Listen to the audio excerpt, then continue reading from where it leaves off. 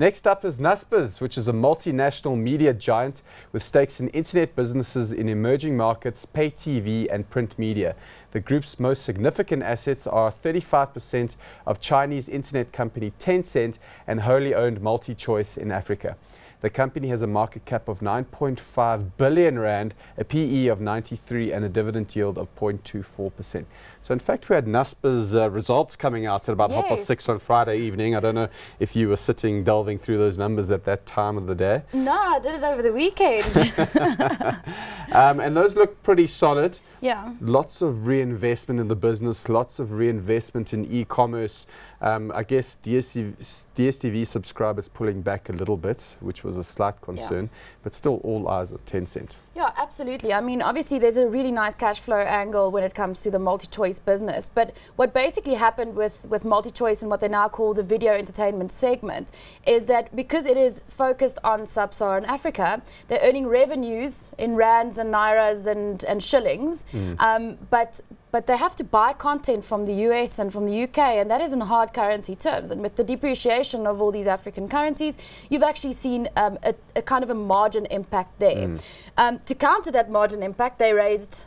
Um, they raised their, their subscription fees. Everyone knows they raised, they raised their subscription fees. It was Lots of people comfortable, yeah. and a lot of people I personally know um, actually decided to to maybe go another route and and and get rid of that that DSTV premium subscription. So um, unfortunate, but it is also it is a signal of of the times. It's just, it's it just it's a it, it it's just unfortunate.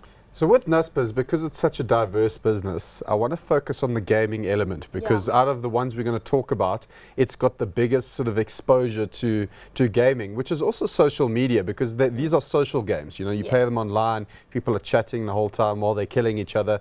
I haven't really been involved and, and gotten locked into any of these games, but Tencent just bought Clash of Clans yeah. for $8 billion, which um, is apparently absolutely massive. Yeah, I mean, I've in my own home, um, I'm I'm competing with Clash of Clans on a daily basis for attention from my husband. He loves that game. He does not leave it alone. And That's then you also have it, no, know. it's absolute madness. It's worse than Candy Crush apparently. Yeah. Um, and you don't only have Clash of Clans, you also have Boom Beach, which yeah. is from the same company. Um, it's a Finnish company called Supercell. Yes. Um, they bought it at quite an expensive rating. Um, I think King King's um, what King Games, the yes. guys who have. Yeah they got Candy Crush. Yeah, they've got Candy Crush. They were bought over by Activision Blizzard a couple of years ago, and the price that Tencent now paid for um, Supercell was 10 times that amount. Mm. But they reckon the addictive nature of these games are probably going to, to make it a worthwhile acquisition. And it's getting to the point where it's almost like sport. I mean, people yeah. watch other people play um, for entertainment.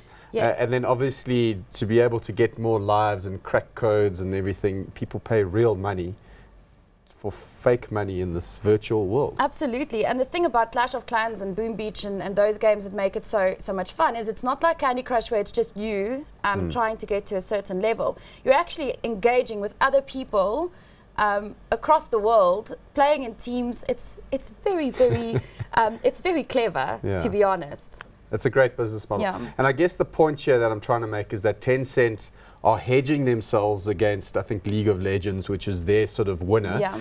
um, by buying one of the big competitors. So they're sort of putting their hand up as a consolidator in that extremely profitable, mm. exciting world of, of online gaming.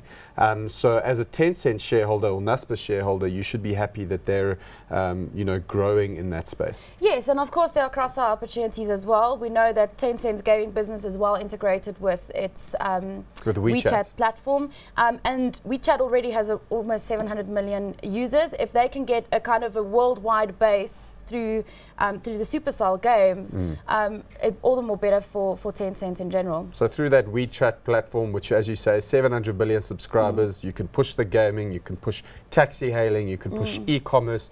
You know, there's a huge amount of synergies between all their businesses. Yes. Hot or not? So we're talking about Naspers. It's underpinned by a, by a very very solid revenue growth in, in the likes of a Tencent. Um, and we always say the same thing about Naspers. Um, Naspers' market value is less than its stake it, then its stake in Tencent is worth. Which is which means you're getting everything else for free. Yeah. Um, you're getting a growing e-commerce business. You're getting the solid cash generation of the likes of a multi-choice and a whole lot of other stuff. Um, it has to be hot. And if you have a look at their latest results, that e-commerce business is finally starting to become profitable. So when that starts pushing through in the numbers, that 90 multiple is going to look ridiculous. So I agree with you 100%. Yes. Both hot on Naspers.